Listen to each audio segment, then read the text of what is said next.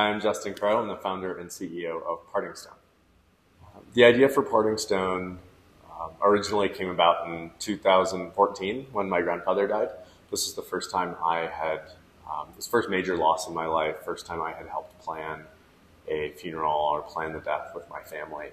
And um, I was asking my friends and family at that time about their experience with loss. And I kept hearing stories about the remains being in closets and basements and garages. And um, it was at that time that I wondered, did we have to be receiving ashes after cremation? And could we invent a new form of remains that was more comfortable?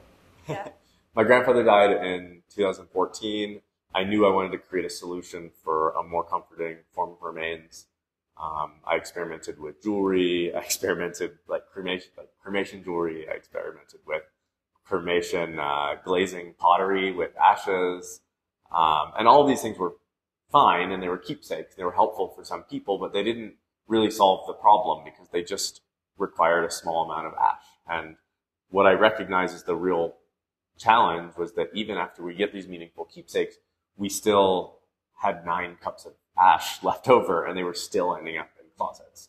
And so that was this moment where I wondered, um, could we just solve this problem with a new form of?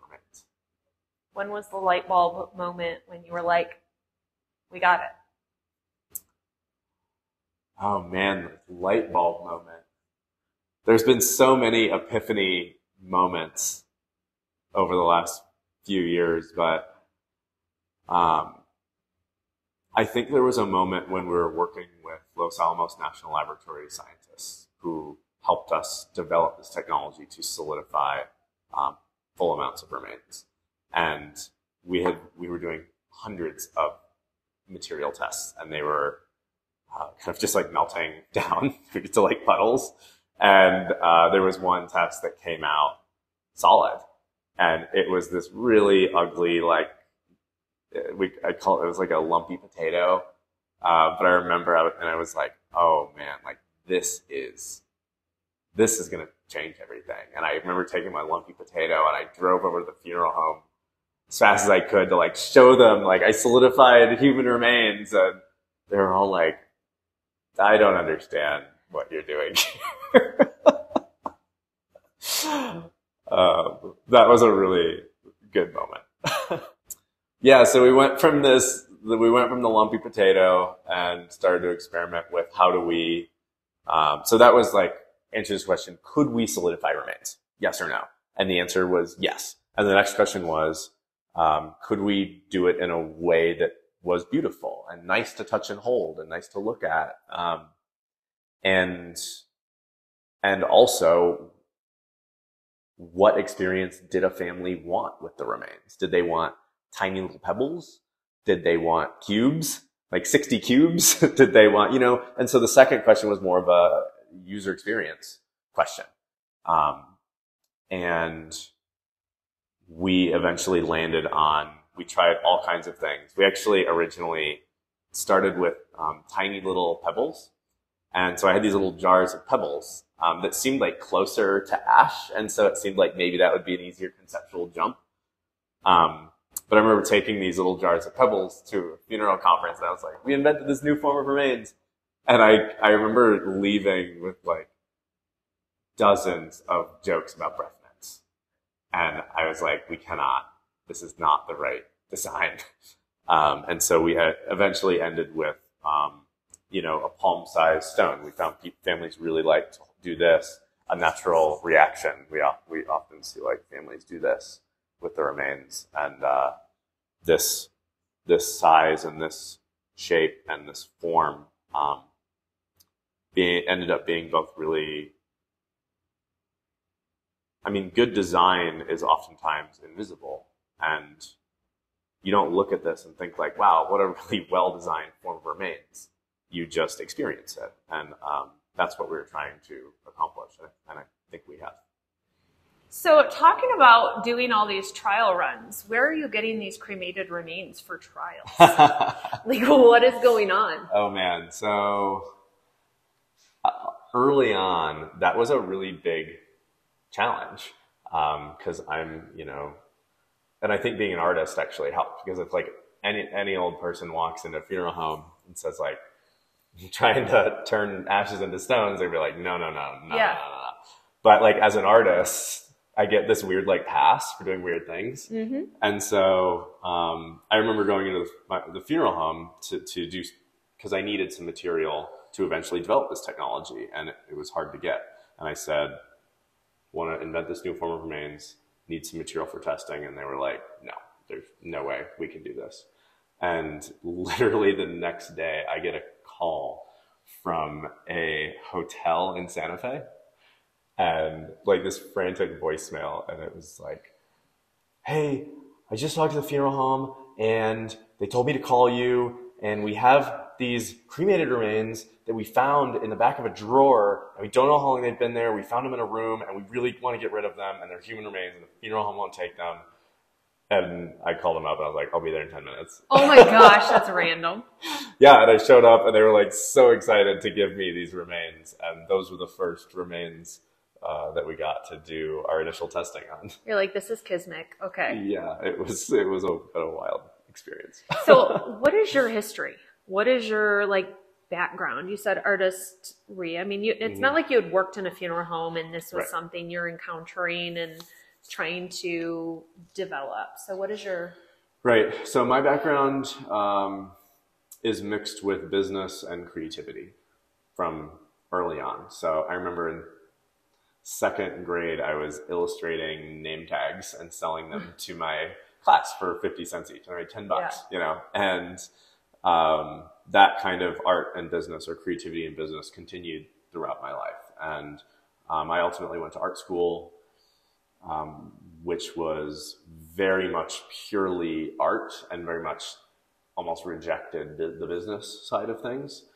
Um, graduated from art school, um, started a couple small businesses, doing some experimenting, still doing some art projects, and eventually led to this, which kind of incorporated my knowledge of ceramics and material science um, and creativity and business. Um, yeah.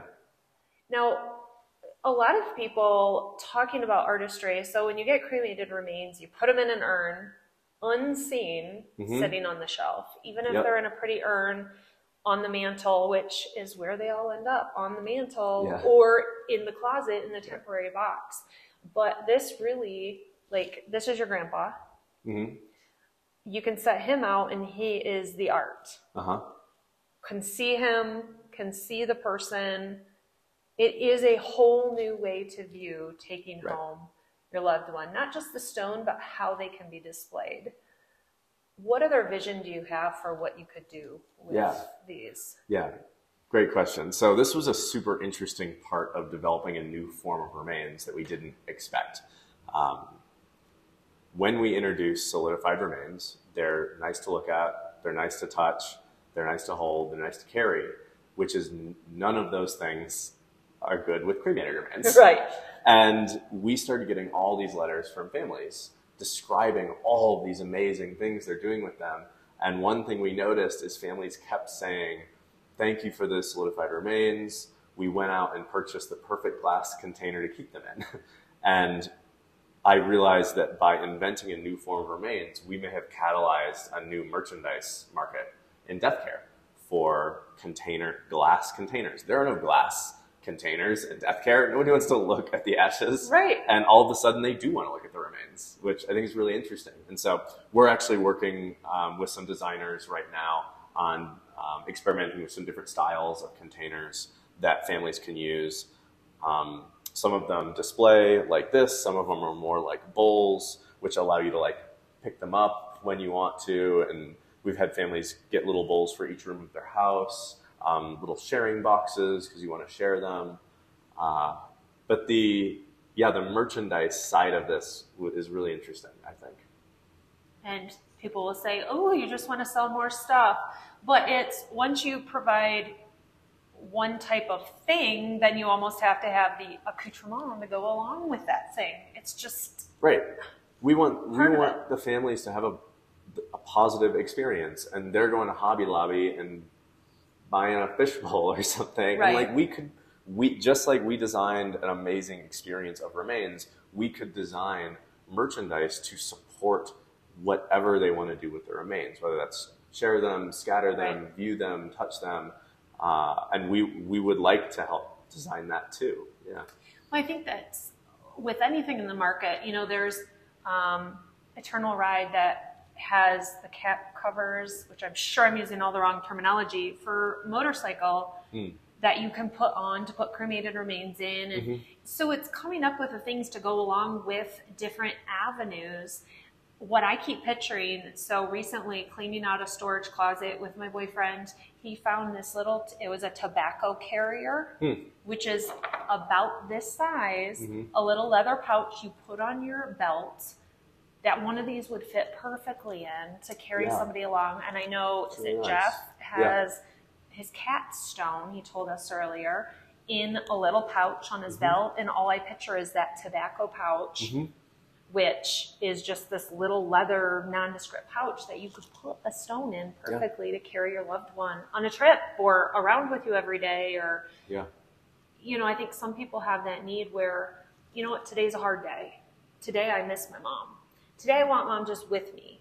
And I can't just take a scoop of her cremated remains, put it in my pocket. Sure, I could wear a jewelry piece or something, but tactily, you know, touching her and taking her, this is more hands on. It's Yeah. just more practical when it comes to something like that. And if I lose this, I'm probably going to find it quicker than I would a little bitty jewelry piece. Yeah.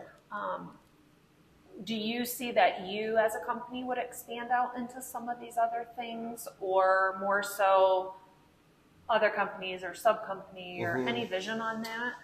Maybe. You know, we're really focused on making a new form of remains and making this experience as positive as we can for families. It's our 100% focus right now. Nice. Um, and so exploring partnerships with designers makes a lot of sense for us right now. Um, that said, maybe we will produce some Parting Stone brand Yeah. merchandise in the future. Um, I'm not sure. Well, and running this as a business is, is key. Yeah. And when it comes to death care, we are very much um, chastised for running things, funeral homes, anything death care related, cemeteries, crematories, as a business because you have to have the revenue coming in to pay your costs to continue to have the lights on. Right.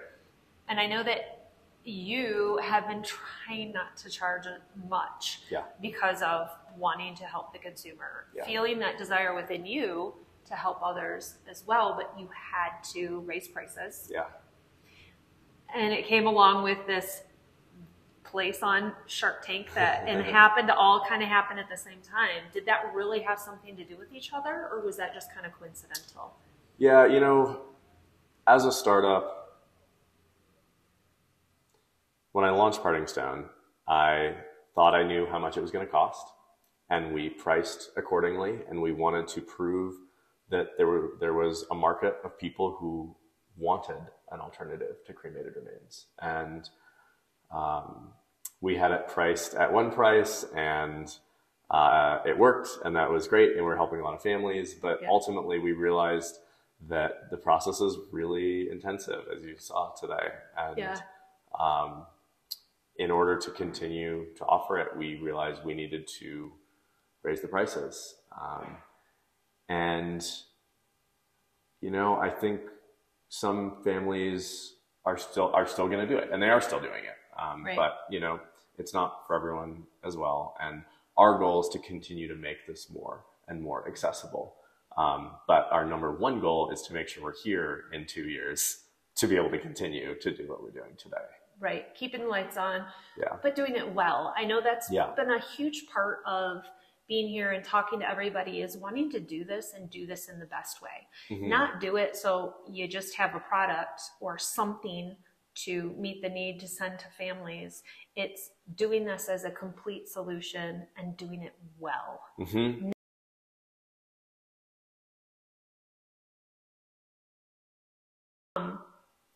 And so I think, like you've said, some things you have to invest in machinery Yeah. to help the process be more mainstream as you increase your goals and as you increase the influx of cremated remains i know that part of it was um, heidi when she was giving the tour earlier said yeah this was where we used to hand finish every stone and now you have almost like a rock polisher kind Yeah. of machinery that's doing that which is increasing your Yeah.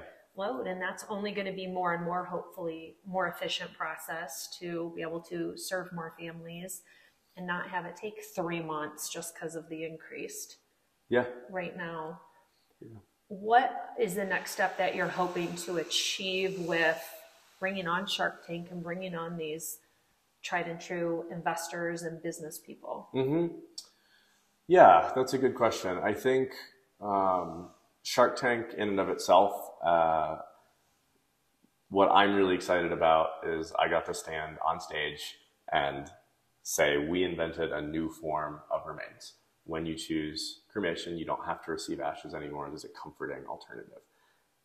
That was an amazing opportunity Yeah. to educate the country that that this is an option.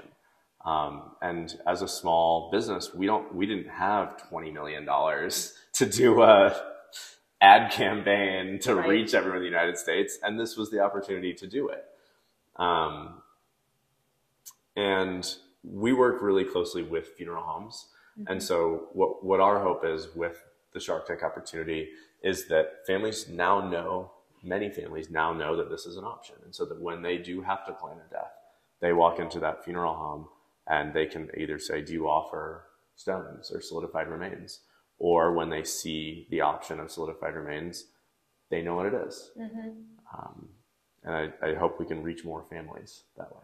Yeah, I think I've told you all like this company feels good in my soul because of what it offers, and I think because in my own way, having my dog and not knowing what the heck to do with those cremated remains, this became the best thing for me. And I think until I I saw that need, I loved the, what you did, but didn't Hmm. feel it. And I know that you talking about it, you feel it. This wasn't just a thing you came up with Right. for an industry. It's something you came up with because you believed this was good. And did it take much convincing to convince your grandma, like, hey, grandma, give me grandpa and let me do this? Did it? Um, it didn't. No, I mean my my grandpa, um, this grandpa Yeah. did. Um, he was actually one of the first investors in the company. He took his pension, some of his pension money, Oh, and gosh. you know put in a little money. Um, he was, you know, my biggest fan, um, and he died uh, maybe just about six or seven months after we launched, and so he knew he knew he was going to be sort of uh, and he he vocalized that. Um, so special. That's a pretty big deal. Yeah, yeah, Like, that's more confidence than anybody could ever put into Yeah. you. Like, take my body and do For what sure. you need to do. yeah, Now, the culture here at the business is a big deal. yeah. I think. Yeah. And you can feel that. Um, what was your goal in building a business and taking on employees? hmm What was kind of that base goal that you had? Yeah, I remember. So I remember that first year, we maybe had five or six employees. I had a um, funeral home come for a tour, and uh, the owner we went to lunch after, and we got in. He could not wait to ask me. He said, "Like, how do you do your hiring?" He's like, "I have never seen a death industry or death profession company culture like that." Um, which I took as a huge compliment. And the goal with our company culture is just to feel normal think, thinking and talking about death and mortality. I mean, you're there. A lot of the production staff, in particular, they're touching human remains every single day. This is and and they do it respectfully, but also, you know, we have a light culture. We joke around, um, um, but also it kind of balances out the weight of of confronting death every, every day. Um, but ultimately, the goal is to just normalize it and have a, an, uh, an energized attitude in the in the laboratory and focus on that you know yeah this is this representation of death and mortality but really what this is is this is going to go and be a person's most treasured possession in their entire life and mean something so emotional to them and focusing on that as what this is not as death mm-hmm. uh, i think i think is really important when I think some of the the terms as we were walking through, like when Pat put my dog on the shelf, she's like, "All right, we'll see you in a little bit," and away. and then Heidi said, "You know, if somebody needs to go to the hospital, we they go to the hospital if they need yeah. to kind of create a better, you know, format for the stone." And um, what is she? Oh, the bath. You know, after they come out of the tumbler, what is that process? When they're yeah, the finisher. Their finisher. Yeah. They get to go for a bath, so we give them a bath, and you know that's it is still looking at somebody as they are somebody and not just this material that's coming yeah. through, which I think is hard, even in a funeral home with a full body, mm-hmm.